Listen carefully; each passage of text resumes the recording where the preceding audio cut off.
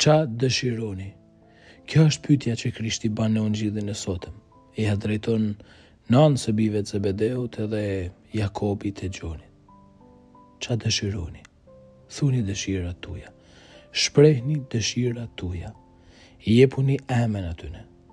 Në mënyrë që edhe unë Të mundem me bashku dëshirat e mia së bashku me tujet.